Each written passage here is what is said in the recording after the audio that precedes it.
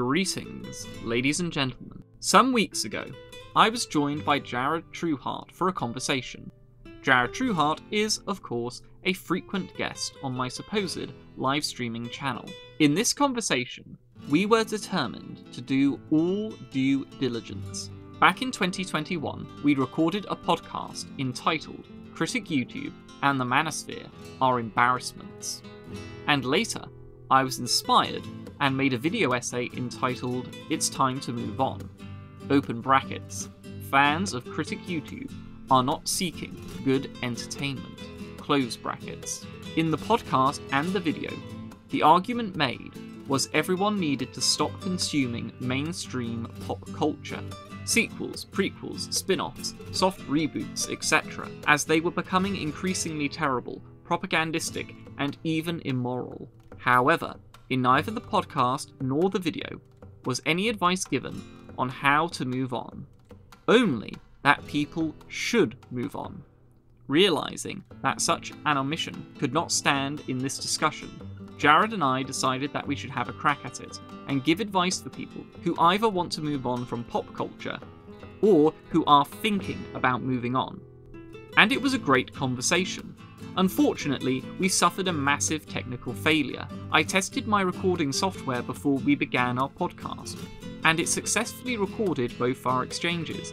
But the second time I used the software, it only captured Jared's speech. So rather than upload half a conversation for my supposed live streaming channel, I have decided to turn our thoughts and ideas into a proper video essay. Now that I've provided an explanation and introduction with the necessary pomp, let us dive into the beginning. There are two groups of people who need to move on from pop culture and the mainstream creative media industries, although I hesitate to use the adjective creative to describe said megacorporations. The first group are consumers, and the second are YouTube critics. Both groups have different obstacles which stop them from moving on. The consumers are obstructed by three stumbling blocks fandom, nostalgia, and shared cultural experiences. I shall outline what I mean by all three in turn. By fandom, I mean identity. Building an identity around a brand, franchise, or set of media, and having those define your lifestyle and sense of self. For the person who has built his sense of self around a media franchise, but who wants to move on, fandom is not best described as a mere problem, but instead as a titan. This person may recognize, for instance, that new Star Trek media are terminally bad, awful, and disrespectful to everything which came before. But if said person's identity is that of a Trekkie, then he is going to feel compelled to buy the merchandise, the Funko Pops, watch the new series, complain about the new series, and pray that things will get better. Or else delude himself that the new media are good. And he'll do all this because his identity is constructed around fandom, around being a Star Trek fan, a Trekkie. And if he were to move on, there would be a void in his sense of self. By nostalgia, I mean memories of better things which make it hard to move on.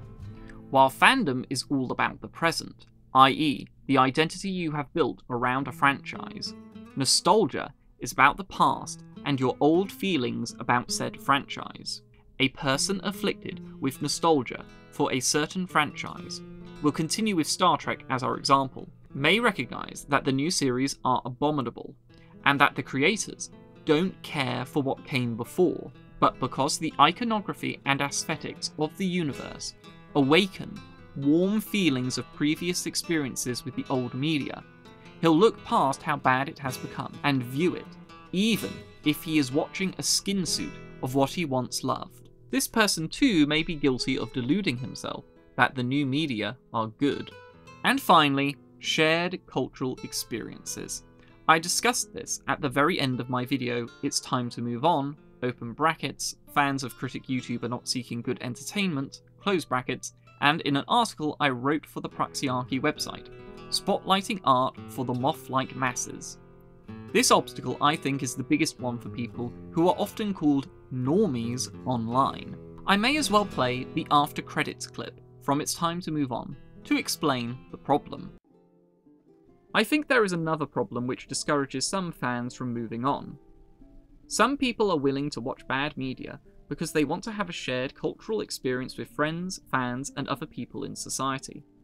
For instance, all my friends and I, one way or another, watched the Star Wars sequels. We didn't like the films, but after watching them, we had a shared cultural experience among not only ourselves, but also among the rest of the general populace in Great Britain and the wider Western world who had also seen the film. My friends and I enjoyed discussing how bad The Last Jedi was in particular, and arguing with people who thought it was good. The Star Wars sequels might have been bad, but we got something out of them. On the other hand, I have read some ebooks by independent authors which were better than the Star Wars sequels, but I cannot talk about them with anyone because they are quite obscure. The ebooks I have read were not, and probably will never be, widely read by people in society, and thus will never form the basis of a shared cultural experience. The second course of action I have outlined in the main section of this video essay does have a unique challenge. If individuals are going to take this course of action earnestly, ways and means of promoting good original media will have to be discovered, adopted, and perfected so a larger shared experience can be created in order to make fun and interesting discussions about said media a possibility. For some individuals, this is a tough sell, because part of the reason they engage with certain media is for the social function that comes along with it, the easily shared cultural and social experience which allows them to become part of something larger. Thus, this is another roadblock which must be overcome to move on. Basically, some people may want to opt out of watching derivative sequels, garbage soft reboots, and insulting, propagandistic adaptations, but find it hard because when they do unplug, they realise that they cannot talk or relate to their friends and relatives who do watch the latest rubbish. A lot of people engage with media which A, they think they'll enjoy, and B, which they think everyone else is going to engage with as well. For the person who doesn't wish to be perceived as a weirdo or killjoy, or who simply wants to be able to talk with his friends and relatives about stuff and spend time with them, moving on from current media will be a massive hurdle because he will lose out on shared cultural experiences. These are the problems which the consumers face. What is the method to surpassing these three obstacles how do you break through these walls? I admitted in the conversation that I had spent much time dwelling on these very hurdles and could not think of a clear way to get past any of them. But Jared suggested there was a simple way to deal with the nostalgia and shared cultural experiences issues, and that was to create new shared experiences with friends and relatives via sharing and enjoying new independent media. He posited that this would help with the nostalgia issue because the new shared experiences would help individuals to stop dwelling on the past and thus help them move on from the franchises which provided them so much entertainment and happiness in the past. I agreed that this would work, but the question is, how does one do it? Well, we hashed out two steps which must be followed. Step 1 You, yes, you, ladies and gentlemen, must seek independently created media, books, films, audiobooks, etc., and sort out the wheat from the chaff. In order to execute this first step successfully, you will have to adopt an adventurer's mindset. Now, what do I mean? I mean, you must perceive yourself as an intrepid explorer, looking for new and exciting fiction in the wild west of creativity, and that by doing so, you are embarking on bold quests to seek treasure. Now, of course, not all expeditions will be fruitful, but no adventure is without risk, and you will have to accept danger and even meet disappointment if you want to find good entertainment outside the debauched and undead realm of mainstream pop culture. Step 2 once you have found independent media that you enjoy, you must aggressively push them onto your friends and relatives. You need to tell people in your social circles that they must give this independent book, film, song, music, picture, etc. a try. You must be an advertiser for the independent fiction you want them to try, because no one else is going to sell it to them. This will take energy, and it is true you can only lead a horse to water. You can't make it drink. Nevertheless, this is the only method. If steps 1 and 2 are completed successfully, then you and your friends will have enjoyed a new book, for instance, and will be able to talk about it with each other. Thus, you will create a shared cultural experience, which is separate from megacorporation film slop. Now, fortunately, these two steps are easier than ever before because of something I previously mentioned in this article the fragmentation of audiences. In our conversation, Jared mentioned that decades before, there was a shared mainstream culture where everyone was watching the same thing. For instance, MASH, MASH, was a popular TV series in the 1970s in America, and if you watched an episode one night, you could be sure that all your friends, relatives, and work colleagues had also watched it, and you could talk about it the next day, and thus it formed a shared cultural experience. But this is no longer the case. People now watch different shows at different times, and everything has become more niche, and no one is watching the same thing at the same time. Mainstream culture doesn't exist anymore, and although the film industry keeps trying to tap into the nostalgia of old mainstream culture with reboots and sequels, such as the new Indiana Jones film, their efforts have been giant failures as of late. For my money, the last mainstream shared cultural experience was Avengers Endgame. This film, and all the other films leading up to it, was watched by nearly everyone. Nearly all your friends, neighbours, and relatives would have seen this final film, and I remember this time well. But after Endgame, the wider populace lost interest in Marvel films, and the Phase 4 films and TV series are only watched by die-hard Marvel fans. Because mainstream culture isn't really a thing anymore, independent creators have an opportunity to exploit the new, multifaceted consumer landscape and try to advertise their creations to newly formed niche audiences and floating consumers. This means that you may have an easier time persuading your friends and relatives to engage with independent stories, because they may already be looking beyond mainstream pop culture, since it no longer functionally exists. To be sure, this advice isn't exactly easy to follow, but it is the only solution. We both agreed that independent creators can help by making their work as professional in its presentation as possible and as accessible as possible. For instance, independent authors should create or commission quality front covers, and musicians and bands should produce engaging music and lyric videos for their songs. The better the presentation, the easier it will be for admirers to share your work. We'd both hasten to add that the best way to share new media is to do so physically, and in the physical presence of your friends and relatives. Don't just share links to independent music.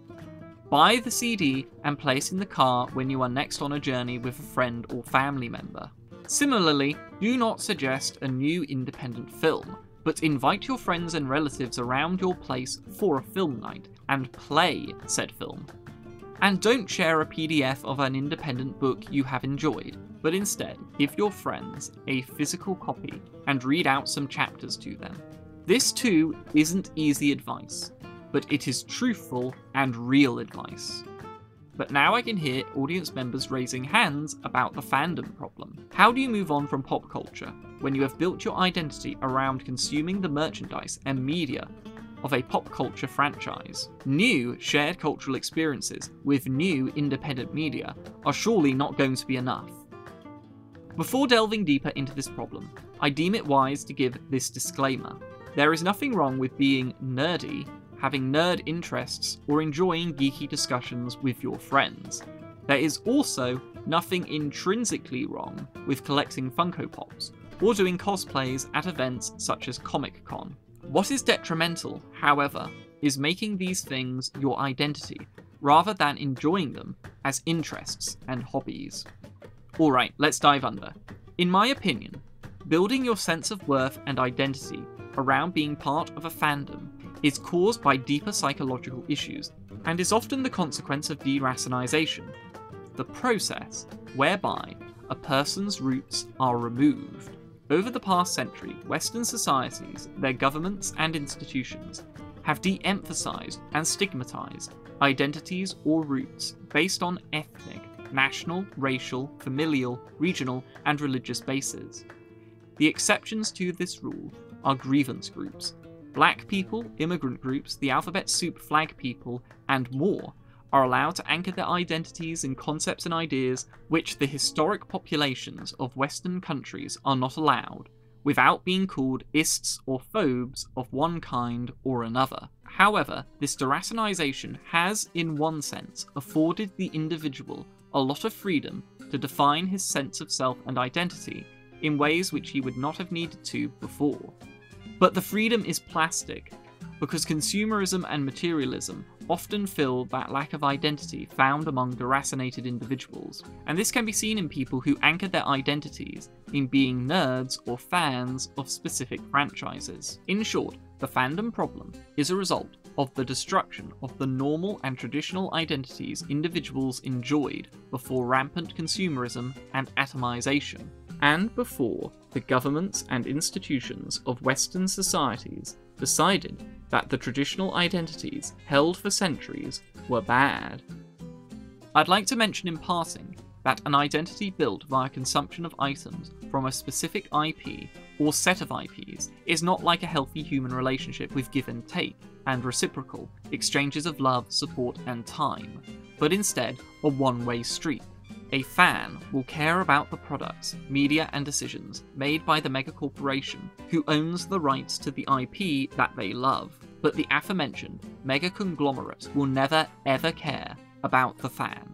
Our suggestion for the person who has built his life's identity around the consumerist habit of being a fan and wants to break free is to touch grass, take up a physical sport or discipline, such as football, martial arts, weightlifting, or a hands on craft like pottery. Basically, anything which develops the skill or builds character and knowledge, which manifests in the real world and ideally helps you develop relationships with other individuals, is likely to provide a sense of self beyond consumption, material possession, and the accumulation of trivia knowledge.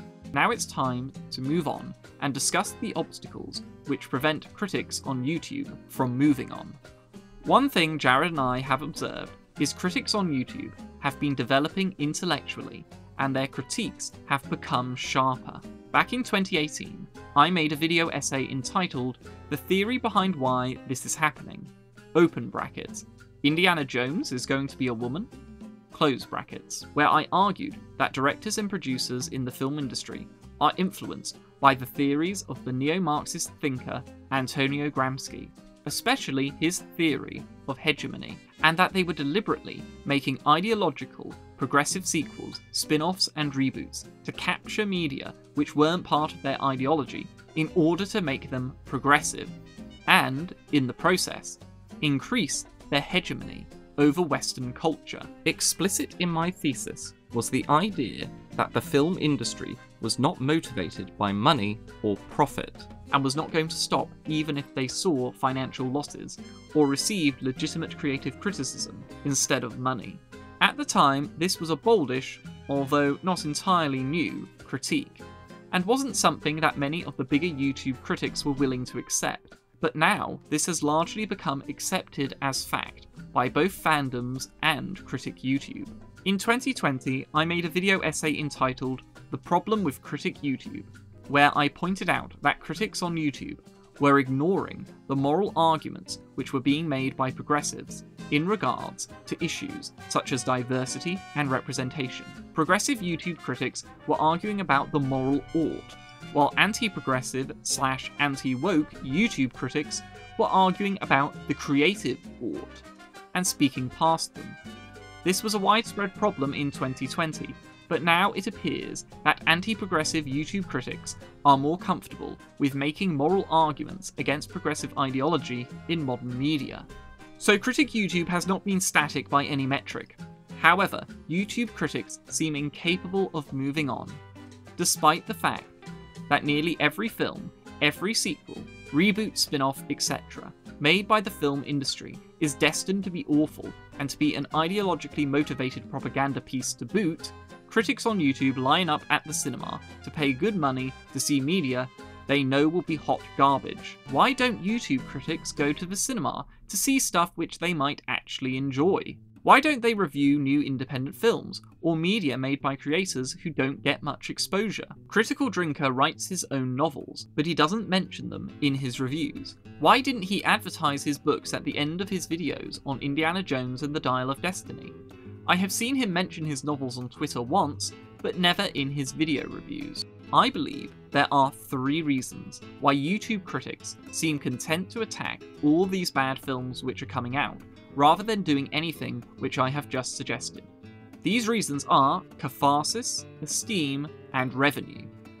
Catharsis is easy to explain. No one likes watching something bad, or seeing a beloved series or franchise of films pulled through the mud by terrible new creations, and lining up your frustrations and presenting your criticisms can be a good way of letting off steam.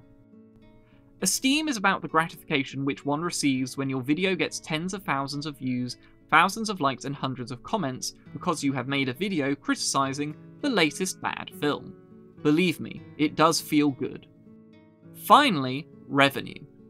This is also easy to explain. If you do YouTubing as a profession and you have monetization activated, Patreon and Subscribe Star links, and you have products on sale, then you become dependent on the wishes of your audience and have to make videos they want to watch, not to mention the wider internet. These are all powerful incentives to remain critiquing, commenting on, and ranting about the latest woke film but the most powerful of these obstacles to moving on for the YouTube critic is the revenue issue. Even if a YouTube critic wants to move on and talk about different media or new things, if the lion's share of his income is from his takedowns of woke media, he won't be in a position to move on without putting himself in dire financial straits. Additionally, it feels good to do something creative and make good money from it. The obvious solution to facilitate moving on for the YouTube critic would be to do internet critique part time and get a reliable job in real life. However, this isn't realistic for some YouTube critics, and I personally do not feel comfortable advising people I haven't met on how to manage their businesses. Still, this is the only way a YouTube critic could allow themselves to move on and stop talking about the latest progressive media without risking their standard of living. One reason why I can make videos on whatever I want and whenever I want, although increasingly this has turned into whenever I can and whenever I have the passion, is because my finances are not tied to this channel. Sure, I find it disappointing when a video doesn't perform the way I would hope, but no matter what happens to my channel, my finances will not be hit. Full-time YouTube critics do not have this freedom. Now finally, a message of optimism. Normally, I'm the last person anyone should look to for hope or optimism. I tend to be measured at best and cynical at worst. However, I'm breaking with tradition to share a hopeful prediction of mine. In five years' time, I think the audiences of Critic YouTube and the critics themselves will start moving on. Why do I think this? Well, it's actually because of an observation that Critical Drinker and some of his guests shared on a live stream. They observed that Lucasfilm has burned through its catalogue of profitable IPs, now that Indiana Jones 5 has been confirmed as the disaster we all knew it would be. Under Kathleen Kennedy's management, Lucasfilm has ruined Star Wars, Willow, The Mandalorian, and now Indiana Jones. But it is not just Lucasfilm. Studios across the film industry are burning through all the famous IPs in their cupboards and losing massive amounts of goodwill and patience in the process. Eventually, fandoms and the average Joe will get fed up and start turning their attentions elsewhere for entertainment. This will incentivize YouTube critics to start reviewing independent scenes and media because it will be the only way to sustain a healthy income, and thus they will move on with their audiences. In the end, many people will move on. By the way, I have written and self published books under a pen name. If you have enjoyed books by C.S. Lewis, J.R.R. Tolkien, and Philip Pullman, I can recommend my family friendly books Earl the Dragon Slayer, Escape from Labyrinth, and The Northward Journey. Escape from Labyrinth and The Northward Journey are part of a trilogy and the third book is going to be released in either October this year or February next year. If you enjoy pulp fiction books by great writers such as Robert E. Howard, then you may enjoy my short story, Rodgerhath and the Golden Axe. Finally, if you're a fan of Terry Pratchett, then you may enjoy my novella, The Pub on the Other Side of the Forest. This story is Terry Pratchett on steroids. I have made audio previews of all these stories and uploaded them on this YouTube channel. Links are in the description. If you enjoyed this video, please feel free to like, share, and subscribe. Thank you all for watching. I hope you all have an excellent day.